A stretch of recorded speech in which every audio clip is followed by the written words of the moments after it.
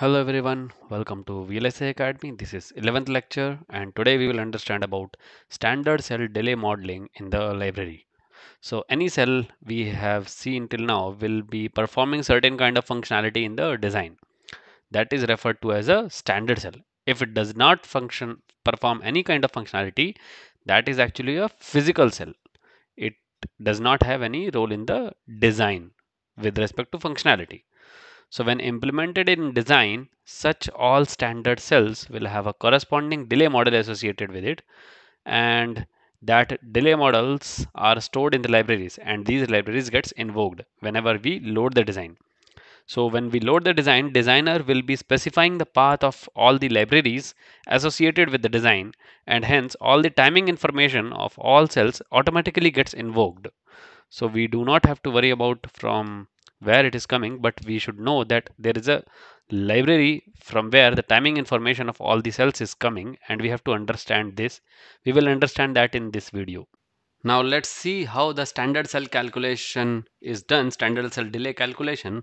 So standard cell delay calculation actually depends on three different factors. So there are three different factors. One is input transition. So that is input transition of a particular cell. That means how the transition, that is how the cell pulse is rising or falling that transition affects the cell delay calculation. So second thing that cell delay is dependent on is your output capacitance output capacitance of your cell. So this is your cell c1 output capacitance of this cell will be dependent will be actually affecting the cell delay calculation. So output capacitance is actually nothing but your wire capacitance. In VLSI, it is called as net capacitance plus your all input capacitance that are attached to that net. So input capacitance. In fact, I should say that it is input pin capacitance. Input pin capacitance plus net capacitance or wire capacitance that gives you output capacitance of that particular cell third most important thing you can say nowadays is your operating condition operating condition means what is the condition under which your device under test is operating so operating conditions also affect your delay of cell operating conditions can be of three different types mainly one is your p p for process and then second is your v v for voltage that is your power and third is T, T for temperature. So these three conditions actually affect the delay of cell.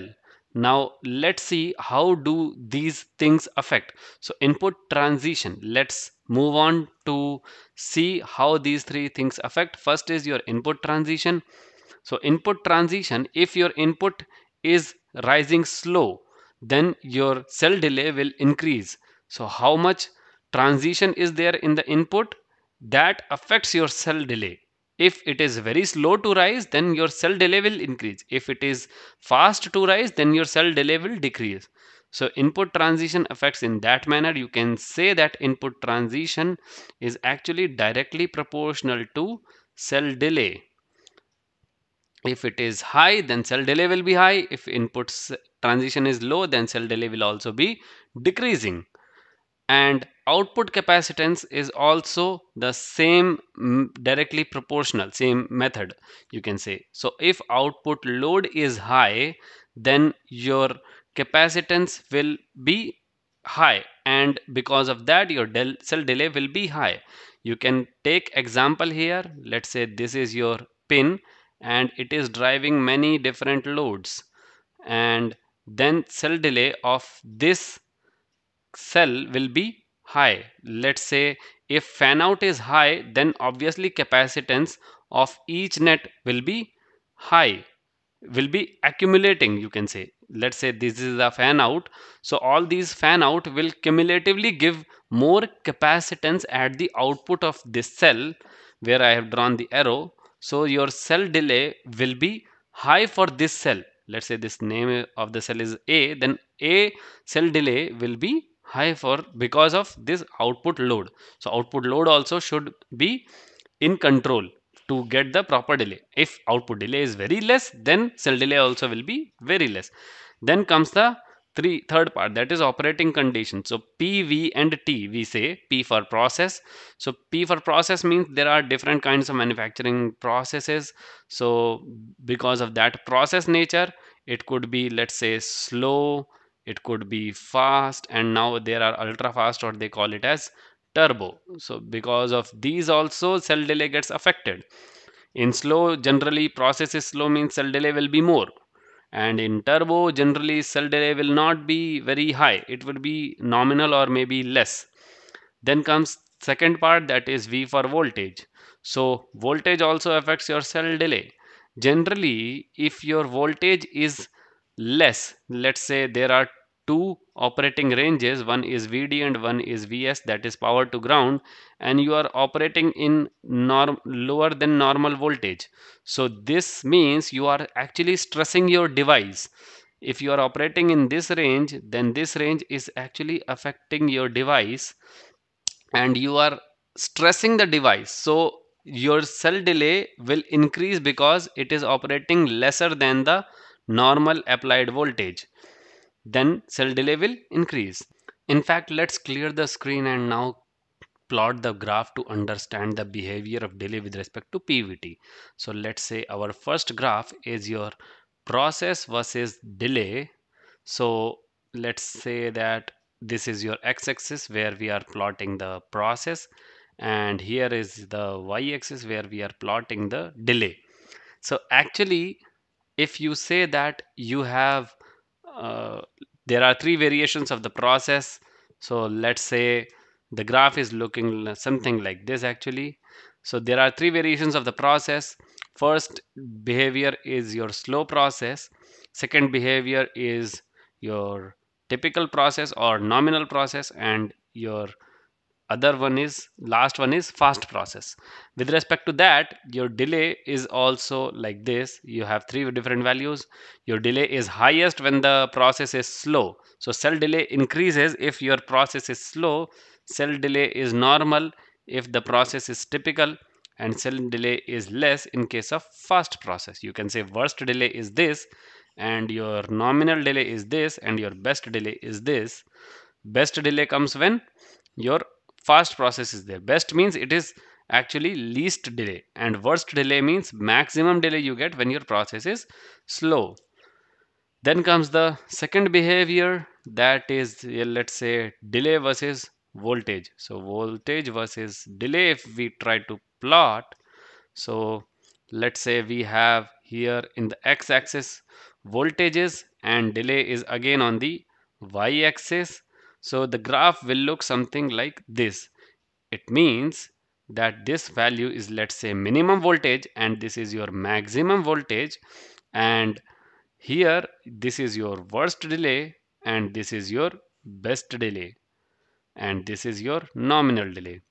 So if your voltage is if your voltage is less your delay is very high but as you keep on increasing the voltage your delay decreases exponentially.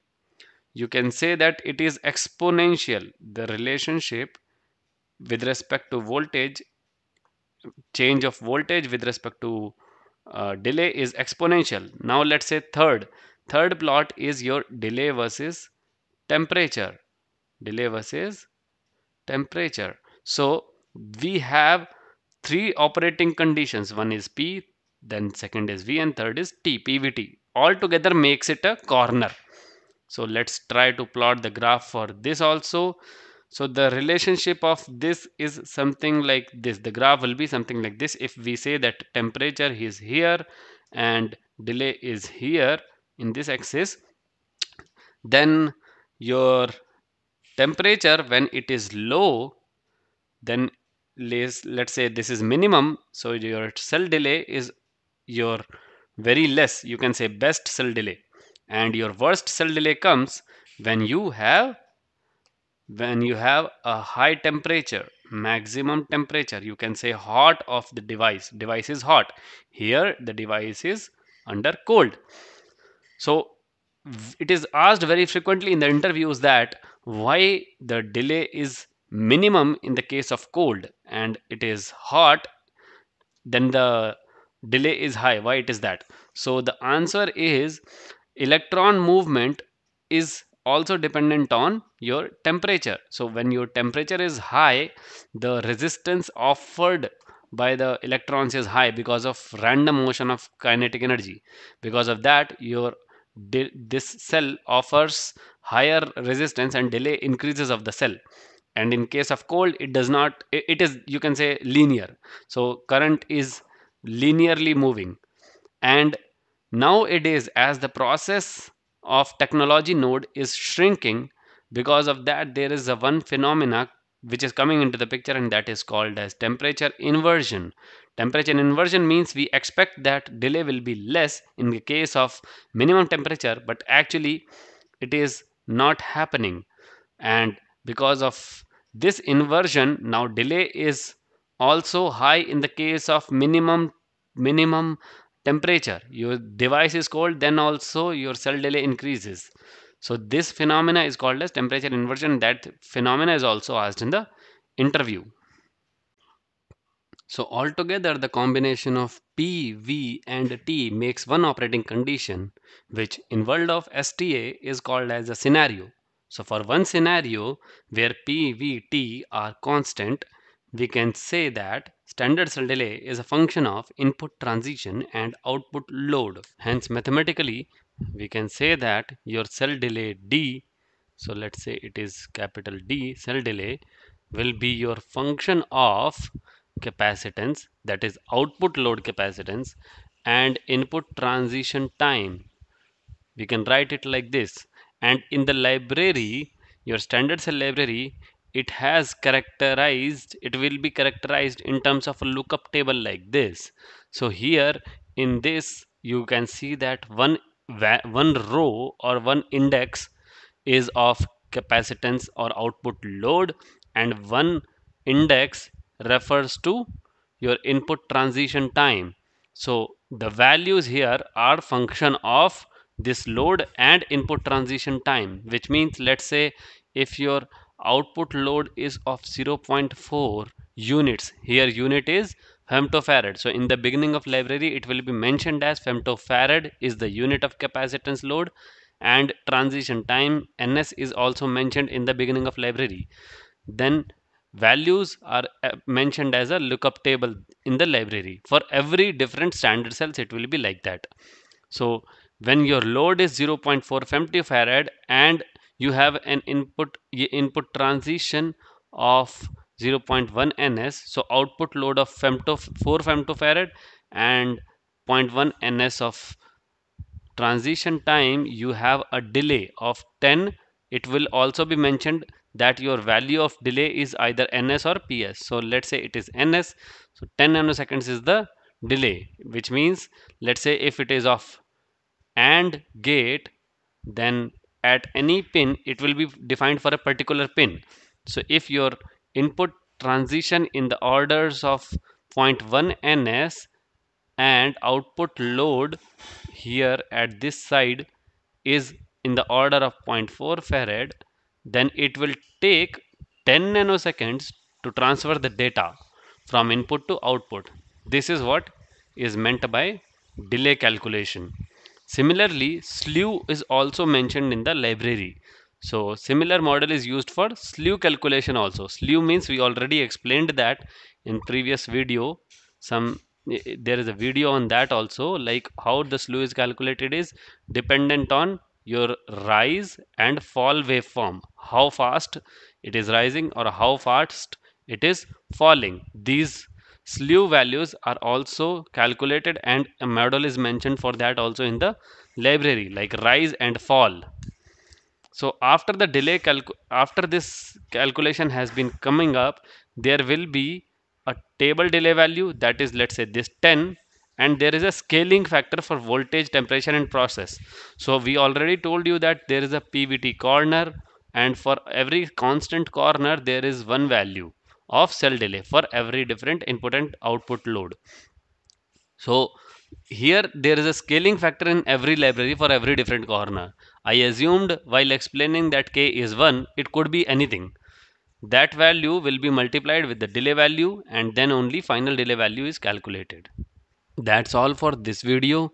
In next video we will understand that how this table is maintained in the library, how to read it and till then keep stay tuned. Please like, share and subscribe to the channel. Thank you.